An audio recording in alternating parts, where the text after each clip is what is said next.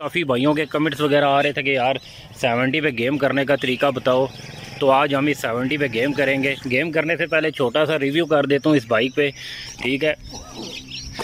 Clutch की इसकी हमने सेटिंग की हुई है, बिल्कुल आखिर में छुटता है। जो कि मैंने इससे पहले वीडियो में भी आपको बताया होगा कि व्हीली करनी है तो क्लच आपने बिल्कुल आखिर में करना है। ठीक हो गया?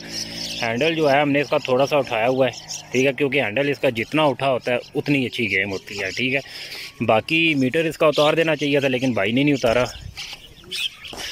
बाइक जो है टोटल जेन्यन कंडीशन में है।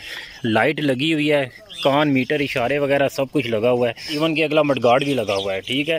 कहने का मकसद ये है कि अगर आपने गेम करनी है तो ये ज़रूरी बात नहीं है कि सब सामान उतारो। आप जेन्यन बाइक के ऊपर भी गेम कर सकते हैं, ठीक है? उसके बाद पिछली वाली साइड पर आ जाते हैं। मडगार्ड इसका बिल्कुल जेन्यन है।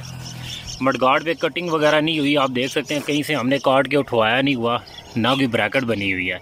मडगार्ड इसका बिल्कुल जेन्यन है। हाँ ये है कि थोड़ा सा ना इसको रगड़ रगड़ के इसकी थोड़ी सी हालत ख़राब की हुई है। बाकी सलेंसर की आवाज़ वगैरह हमने इसकी नहीं बनाई हुई है। और उसके बाद ब्रेक जो है इसकी, ठीक है। ब्रेक हमने इसकी ना सख्त रखी हुई है और ना ही बहुत ज़्यादा लूज़ रखी हुई है। ब्रेक इसकी ऐसी है कि जैसी सेवेंटी ऊपर आएगी ना, हम हल्की सी पुश करेंगे तो सेवेंटी नीचे चली जाएगी, ठीक है? अभी ऐसा है कि इस पर गेम करके आपको दिखाते हैं।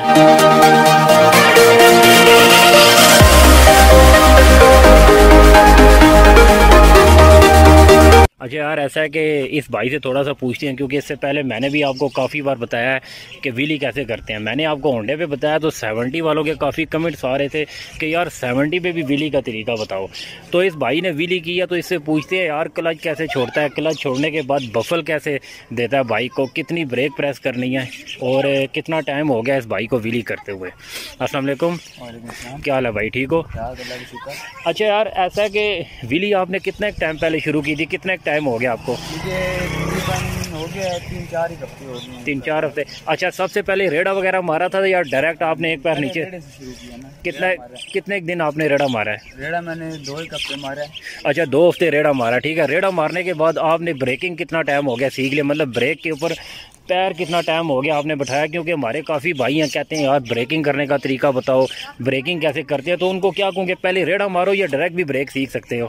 ब्रेक डायरेक्ट बंदा नहीं सीख सकता क्योंकि जो है मोटरसाइकिल जब ऊपर आता है बंदे को कंट्रोल होना चाहिए रेस पे। वो फ़र्स्ट जो है ना बंदा। हाँ। पहले बंदा इस पे जो है अपना वो फोकस करे फिर जाके ब्रेक पे क्योंकि रेड आप मारोगे आपको पता लगेगा कितना मोटरसाइकिल एंगल पे रखना है क्या होगा कितने बफल देने आपने क्या सीन है। मतलब आप कह रहे हो कि पहले एक्सलेटर को समझना पड़ेगा ठीक है अगर हम रेडा मारते हैं पहले एक्सलेटर समझना है तो उसके बाद हमने ब्रेक ब्रेक समझनी है।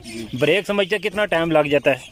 ब्रेक में लग जाते तीन ही हफ़्ते मुझे लगे हैं। सीखते हुए ब्रेक। अभी मेरी इतनी खास पक्की नहीं है गेम ब्रेकिंग जो है ना। तो ब्रेक सीखने का यही तरीका है कि आप पहले ठंडा उठाओ ठीक है। ठंडा उठा के ब्रेक मारो मोटरसाइकिल नीचे आ जाएगा। फिर ठंडा उठाओ आप फिर ब्रेक मारो फिर नीचे। इस तरह आप अगर दो तीन दिन भी करते हो ना ठीक है। आपकी जो है ना हल्की फुल्की लेंथ जो है ना आपकी बन जाएगी बिल्कुल। ठीक है मतलब आप ये कह रहे हो कि पहले थोड़े एंगल के ऊपर रख के ब्रेक प्रेस करनी है। तकरीबन आठ दस दिन इस पे लगाने हैं। उसके बाद आप लंबी लेंथ लेके जा सकते हो जितनी मर्ज़ी है। तो इसके लिए सामान वगैरह उतार भी सकते हैं। अगला पिछला मडगाड़ पिछला मडगाड़ या इस पर भी हो जाती है गेम क्योंकि अक्सर भाई हैं वो कहते हैं यार बाइक काफ़ी भारी है हमारी बाइक उठती नहीं है हम गंजा करा दे या ना करा दे। तो उनको आप क्या कहना चाहते हो कि जेन्यन भी करो या सामान वगैरह उतरवा दो? आप देख सकते हैं ये मोटरसाइकिल मेरा जेनवन है बाइक तो आपका टोटल जेन्यन है। मैंने पहले भी एक वो दिखाया ठीक है कि मतलब टोटल जेन्यन है इवन के इशारे तक लगे हुए हैं इसको। तो ज़रूरी नहीं है अगर आप उतारना चाहते हैं तो उतार लें बेशक आप मोटरसाइकिल गंजा कर लें।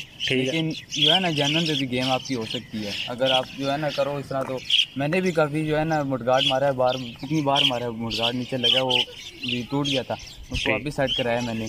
शुरू में एक पैर नीचे ही रखना या दोनों पैर ऊपर रख के भी ठंडा मार सकते हैं? दोनों पैर ऊपर रख के आप ठंडा नहीं इतना लेंथ नहीं मार सकते क्योंकि जो है वो मुश्किल होता है साइड खा जाता है अच्छा शुरू में दोनों पैर ऊपर नहीं रखने एक पैर नीचे रखना है। मतलब कम से कम बीस से पच्चीस दिन हम एक पैर नीचे रख के मारे और उसके बाद जब एक पैर नीचे रख के ब्रेक पक्की हो जाए तो हम दोनों पैर ऊपर रख के भी मार सकते हैं।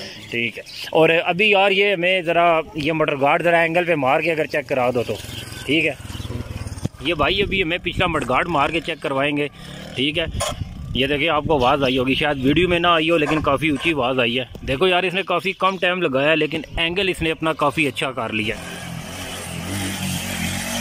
अगर आप में से किसी भाई ने भी प्रैक्टिस करनी है, ठीक है तो उन सबसे रिक्वेस्ट है कि यार, कोई भी खाली रोड हो वहाँ पे प्रैक्टिस करें, ठीक है? जहाँ पे लोगों का आना जाना ना हो ये भाई भी बिल्कुल खाली रोड है, इधर प्रैक्टिस करे क्योंकि अगर किसी ऐसी जगह पर प्रैक्टिस की जहाँ पे गाड़ियों का आना जाना हुआ और अगर आप अल्लाह ना करे गिर गए तो आपको खुद भी नुकसान होगा और दूसरे को भी नुकसान पहुँचाओगे। इसलिए वहाँ पर प्रैक्टिस करनी है जहाँ पर किसी का आना जाना ना हो।